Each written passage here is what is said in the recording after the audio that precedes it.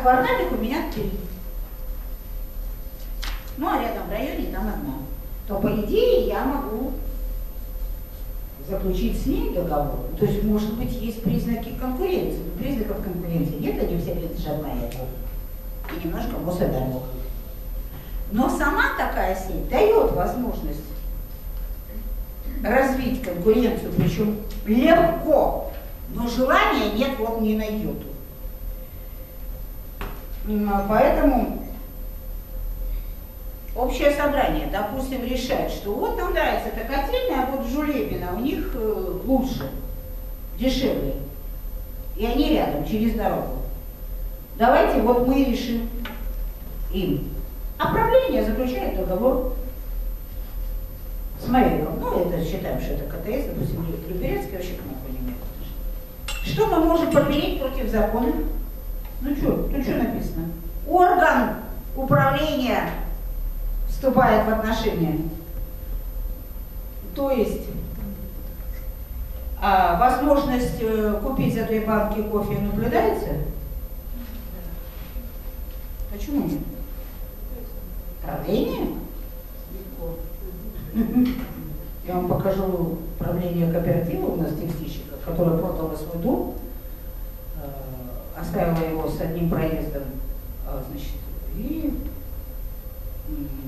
потому что им купили вот такую детскую площадку. А все остальное знаменитый Life Волжская с гигантским подземным этим самым гаражом. Наш муниципалитет туда съезжает.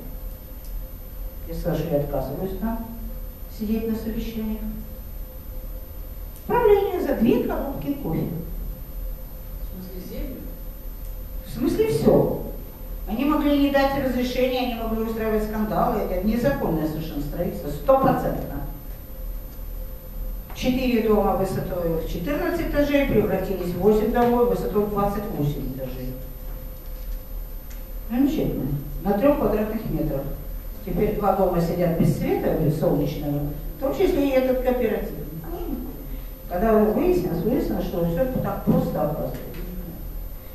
Вот. Так что нехороший пункт, но вот имейте в виду. Потому что при конкуренции обычно общие собрания решают, с кем крутить любовь, за какие деньги. Но тут это, этого нет, потому что жители сами по себе у нас, э, ну, собственники и мнение ничего не значит абсолютно. А, Извините, а вы можете остановиться еще раз, сказавши, что заказчик ССЖ, а все-таки кто представляет заказчика? Председатель? Нет, заказчик э, юридически представляет заказчика все товарищество, а управляет и исполнительные действия совершает правление. А вот правление ли заключает договора, или председатель правления, мы с вами уже это разбирали. В одном уставе написано и то, и то. То есть по принципу хочешь мойся, хочешь торгуй. Вот.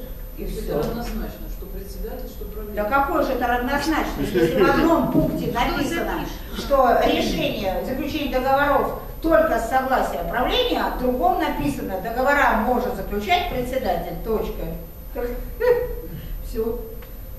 Когда я на стороне председателя в суде, я говорю, что и тип договора у нас такой, что не нужно никакое правление, никакого согласия, не нужно никакой дребедень. А когда я на той стороне, говорю, что такое вообще? Признаем недействительным, да, ничтожным.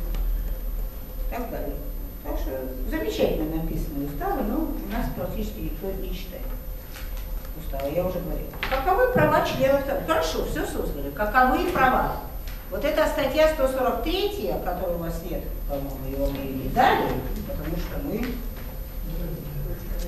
А вот 143 статья. Да, один. 143 прим. Она появилась, почему прим? Это значит дополнение к статье 143, это отдельная статья. Значит, почему она появилась, права членов и не являющихся членами?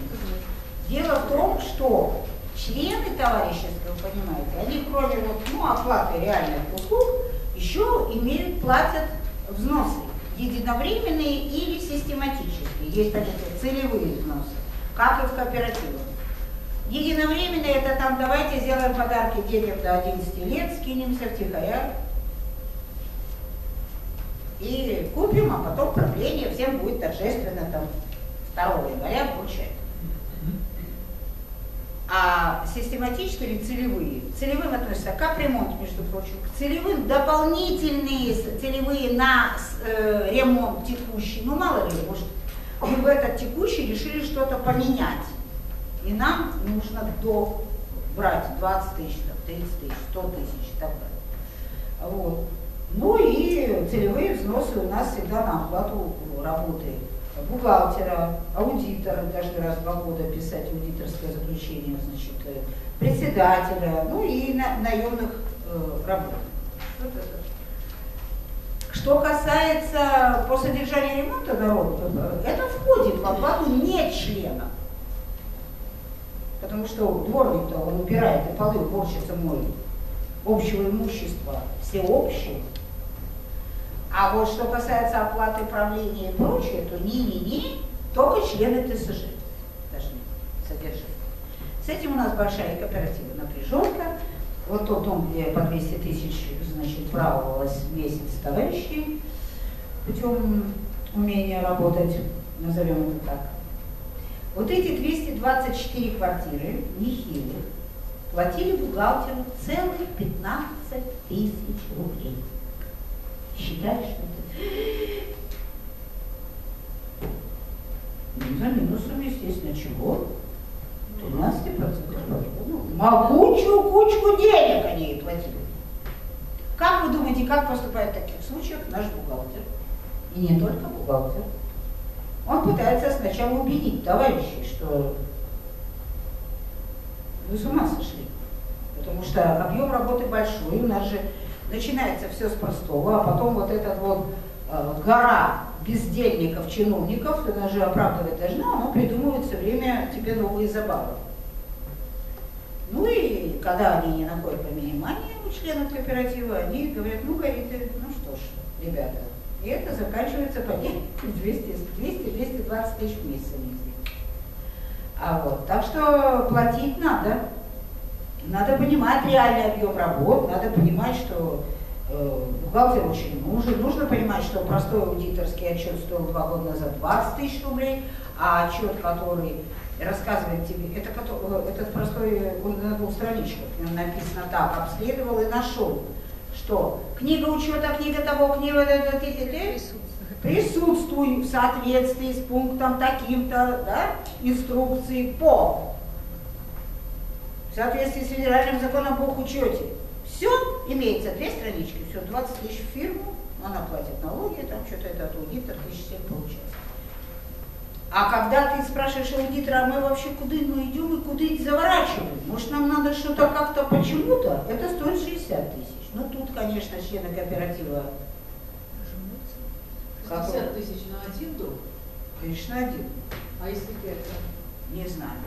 Потому что есть кооперативы из пяти домов.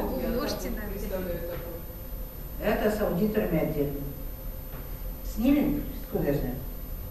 Я не знаю вашей бухгалтерии, говорю, стоит один дом 60 тысяч. И больше. Это два года назад стоит.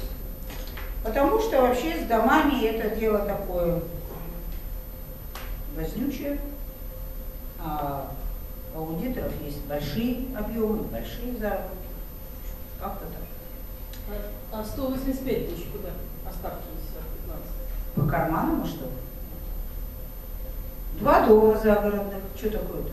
Дом в Ялте. Ну, уж содержать, содержать надо. Яхта на этом самом, где у нас там Хлебниково, Долгопрудно, Водники. да? Водники, да. Дачу там когда снимал, все знаю. А, этот инженер, э, э, это, в Ясенево, простой инженер, что ли, имел яхту. Не, он Ага, директором ДЭС. Нет, он купил место за миллион долларов и за 9 месяцев сделал 5. Из них 3 миллиона он купил яхту. И настолько был глуп, что назвал ее собой. Прямо, честно. На чем вы погорели? А так бы никто бы не догадался. Это была статья, как бы, вот, э, Ну, Разве, был- по-моему, был начальник. Он как бы погорел, знаете, из чего? А, когда он туда прилепился, а там какие богачи? А это что делать? Проверить его надо. А? Вот его проверили. То есть не его место здесь было. Ну, у вас очень место стоит уже давно больше 5 миллионов и это самое, инженер? Так что, тем более, но кооперативы это, конечно, не так, но корочка поселка, что клюет, если люди э, вот не умеют, не понимают, так сказать, э, веса денег, стоимости от работы, загруженности и так далее. Итак, значит, у нас есть члены и не члены. Члены имеют право доступа, долгое время было так, только члены кооперативов, члены товарищества могли быть допущены к документации. И это вообще законом не оговаривалось, кстати сказать. Но не члены в любом случае не имели права. Вы видите, отсюда вы не член кооператива, вы не имеете права и все.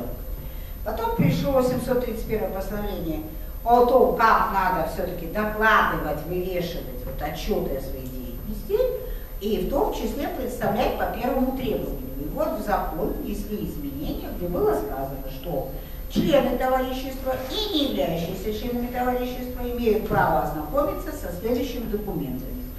Устав, из- изменения, свидетельство о госрегистрации. 200 рублей, что ли, жалко?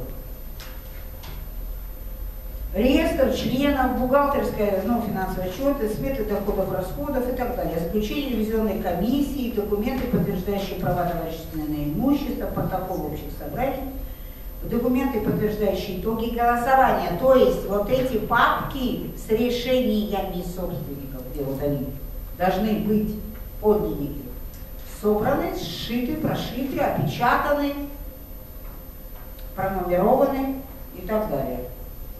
И техническая документация многоквартирный дом и иные предусмотренные уставом там решения внутри документов товарищества.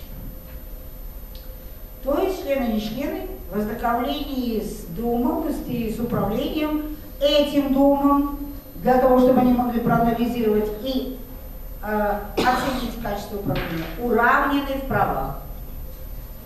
Что означает замечательное словечко право ознакомиться. Ну, я понимаю законодателя. Э, Значит, если ты проверяешь бухгалтерскую отчетность, если тебе еще делать эти тома ксерокопии значит, за счет товарищества, то это вообще надорвешься.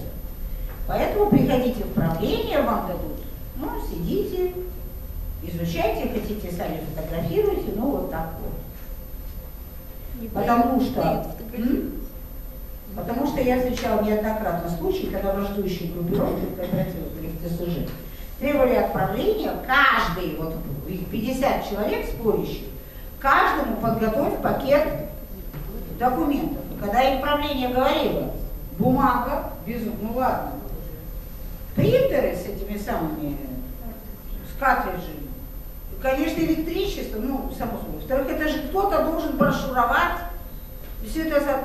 Нет, вы не положите.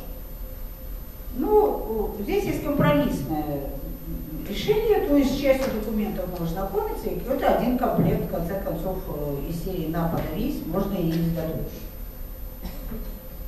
Больше, во всяком случае, аудиторы, я могу сказать, они на дом ничего не берут, они приходят и смотрят на месте.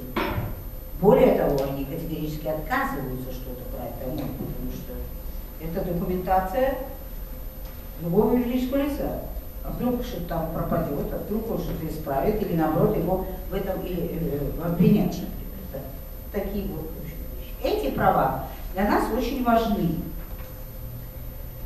А, вот. И э, все хорошо, отчеты такие же раз в год, раз в полгода, а внеочередные собрания, все по, по, по повестке дня, все как э, у всех других э, объединений, но наступает эпоха, например, когда народ со страшной силой разочаровался и решил ликвидировать товарищество. Извините, а можно поподробнее вот остановиться на этом 143.1? А если председатель не дает никаких документов, не дает год, два, три, вот ну не дает. И еще жив, И жив. Ну, ребят, И, и смотрите, и смотрите, я хочу подтвердить вам. И приходят органы из управы. изберите другого председателя, точка. Это не просто. это у Нет, вопроса просто не стоит. Все. Что значит три года? У нас, когда я этим самым домом себя управляла, там в Кишиневе, рядом был кооператив. Так у нас, значит, обычные дома. И у нас были кооперативы из бывшей охраны колымских лагерей. У, это было любимое дело. Там они, значит, понадзирали, выходит рано на пенсию, им представляется на выбор. Ясное дело, что не Мурманск, а Юга. И вот они, обозревая карту, выбирают прекрасный город и строят там кооператив. А подружка первый раз по неосторожности вышла замуж за сына такого товарища. Ну, в Бессарабии не представляли себе вообще, что это такое. Потому что те, кто туда попали, каких-то 180 тысяч, они ни один не вернулись. Поэтому рассказывать некому. Но вот у нас был последний из этих ошметков, а мы уже были, это дом был в ведомстве, в котором я жила. И вот они, когда видели, увидели, как мы живем работаем, они пришли к нам и попросились к нам в ассоциацию. А, ну, мы им отказали. Но причина. Они сказали, что их председатель кооператива 20 лет Ворует. с ними не разговаривает, не выдает ничего. Это была первая железная дверь в Кишиневе, как они мне сообщили. То есть, а потом он сделал в подъезд железную дверь. А, и какое-то время, значит, ему надо было звонить, чтобы он открыл тебе дверь. И вот это вот из Колымы, и из Молдавских сел, оно... И я сказала, что перед контингентом мы не работаем. И еще у вас там три дренажных колодца за домами. 15 метров. Зачем топить? Они, кстати, сухие. Покажите, вскройте рот и покажите. Что, мне какое дело? Мы не берем таких, естественно, выбор дали. И у них, значит, 18 лет, у них под них текла вода, потому что там, когда дом их сажали, там кто-то не перекрыли старую сеть, забыли. Ни за что. Они не хотели скинуться там на какие-то затрепанные бабки, нанять эскаватор обратно, лопата малая, и, и вскрыть. А мы когда поняли, что у нас есть пойдем, мы это сделали за два дня точно. Им оставили трубу течь, посидели, привели все в порядок. Вот. Так что тут никаких. Если человек не выдает, и если а, значит, вообще есть штрафы на это, и не маленькие, то переизбирайте самый простой способ переизбрать. Свидания. Уголовное дело по 140 статье. Просто Уголовного руковая заведомо кодекса. не предоставление информации. Заставьте работать эти фуражки, если не погоник. А потом что значит такое? Устраивайте ему обструкцию. Самое натурально, выстраивайтесь рядами, не пропускайте его, говорите ему в лицо, что вы про него думаете. Детки пальцем с детьми не дружить. Жена вышла. Писать заявление сразу, что ему угрожают. Не на кто ему угрожает. Вот мы ему... А вы его в первый раз в жизни увидели, вы что? Я что, это менту буду говорить, что здесь 30 человек собралось, чтобы высказать ему свое мнение, что ли? Да я в это время была на даче. Я три, до- а остальные все в это время коз пасли в Кусково. Там выставка большая, декоративных позаводств. Перестаньте, это настолько по-детски все. И вам нравится, отдавайте ему дальше деньги. Я бы двух знаю, двух месяцев не потерпела. Вообще не представляете такого. Значит, вор. Так что э, по, да, значит, мы ликвидируемся. То есть нам это ТСЖ, оно нас достало, да? Надо, что мы говорим? Мы никогда его там не избирали, там, или оно не работает, или, ну, не важно. В общем, нас не устраивает. Что говорит закон? В законе все страшно просто, по-моему, статье 145. Сказано, что ой, товарищество ликвидируется в соответствии с законодательством Российской Федерации. Точка. Из серии вот еще тебе писать. Что же это за законодательство такое Российской Федерации? Кодексе у нас есть целых три статьи. 61, 2, 63, а и 64 называется ликвидация юридического лица. Три статьи 160, 61 по 64 Это гражданский кодекс. в Гражданском кодексе. Что там сказано? Там сказано все просто. Кто имеет право, значит, кто имеет право ликвидировать? Ну, учредители в первую очередь. Что общее собрание, суды по решению суда, по решению государственных органов. Как это понимается? То есть имеется в виду, что вопрос о ликвидации товарищества, например, может поднять прокуратура или может защиту интересов э, членов членов, или жилищная инспекция. Это в порядке статьи 20 жилищного. Что говорят прокуроры, когда на них лавина этих претензий обрушилась, они сразу стали говорить, не-не-не, мне нужны только ветераны Великой Отечественной войны, значит, Куликовской битвы, там, значит, это, да? а, тогда буду. И в их защиту желательно пяток.